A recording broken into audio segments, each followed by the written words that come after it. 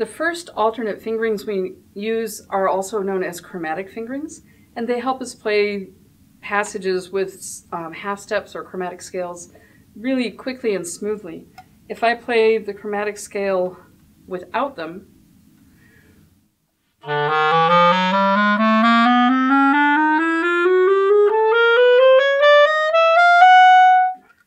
I can hear when they're not quite right. I can hear that little bump. If I play the same speed with the chromatic fingerings,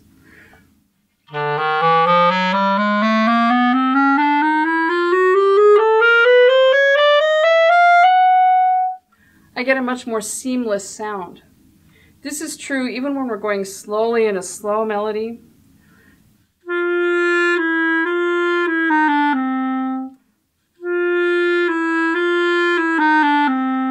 There's that little bump in the middle because I didn't use the alternate fingering. So my students often complain that the alternate fingerings are harder to remember. Yeah, they are, but I think everyone is smart enough to get there. It makes it so much easier to play fast in the long run. There are some very specific places to use certain fingerings, and we'll have a link to a chart I've made of when you should use which alternate fingering. And if you can practice those into your scales and everything you do right away, that makes a big, big difference. The next alternate fingerings I learned were the ones that make the evil notes sound better. The evil notes are open G, G sharp, A, and B flat. Each of those sounds kind of fuzzy and dull compared to the notes that would be the same in another octave.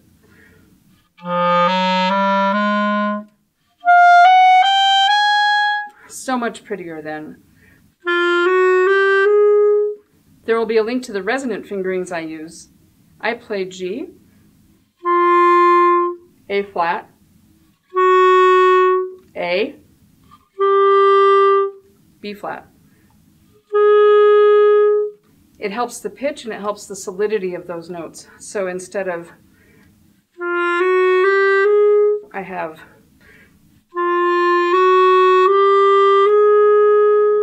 it just has a deeper sound. And in the middle of a nice slow melody, if the note is a little bit longer, if you can make that sound deeper, it makes the whole thing more beautiful.